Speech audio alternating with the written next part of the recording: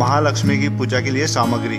महालक्ष्मी की मूर्ति के स्नान के लिए तांबे का पात्र, तांबे का लोटा, जल कलश, दूध, देव मूर्ति को अर्पित करने के लिए वस्त्र, आभूषण, चावल, कुमकुम, दीपक, तेल, रुई धूपबत्ती अष्टगंध, गुलाब के फूल, प्रसाद के लिए फल, दूध, मिठाई, नारियल, पंचामृत, सूखे मेवे, शकर, पान, दक्षिणा में जो भी आप चढ़ाना चाहते हैं। वो ये सारी चीज़ें अनिवार्य रूप से लक्ष्मी पूजा में शामिल करनी चाहिए।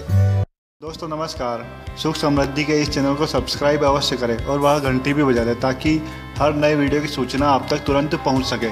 ये बिल्कुल फ्री है, इसके लिए आपको कोई पैसा नहीं देना है। किसी भी पूजा की शुरुआत संकल्प से होती है। संकल्प यानी हम किस मनोकामना की पूर्ति के लिए ये पूजा कर रहे हैं, उस बात का संकल्प।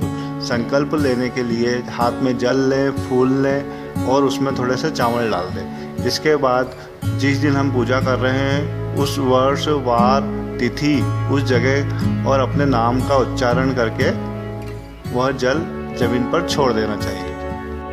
अब जानिए लक्ष्मी पूजन की सरल विधि।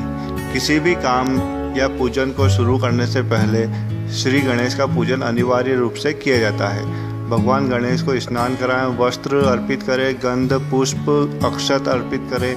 अब देवी लक्ष्मी का पूजन शुरू करें। माता लक्ष्मी की चांदी, पारद या स्फटिक की प्रतिमा का पूजन सबसे अच्छा माना जाता है। जिस मूर्ति में माता लक्ष्मी की पूजा की जानी है, उसे अपने पूजा घर में स्थापित करें। महालक्ष्मी के साथ ही भगवान विष्णु की मूर्ति की भी स्थापना अवश्य करें, क्योंकि महालक्ष्मी के साथ विष्णु की पूजा करने से देवी लक्ष्मी बहुत जल्दी प्रसन्न होती है। मूर्ति में माता लक्ष्मी का आवाहन करें। आवाहन करना यानी बुलाना। माता लक्ष्मी को अपने घर बुलाएँ।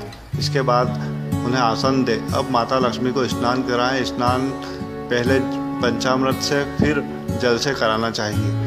अब माता लक्ष्मी को वस्त्र चढ़ाएँ। वस्त्रों के बाद आभूषण चढ़ाएँ। फिर पुष्प माला चढ़ाएँ। सुगंधित इत्र अर्पित करें। अब कुमकुम से तिलक करें। अब धूप और दीपक जलाएँ। इसके बाद माता लक्ष्मी को गुलाब के फूल चढ़ाएँ। महालक्ष्मी को बिल्व पत्र बिल्व का फल भी चढ़ाना चाहिए।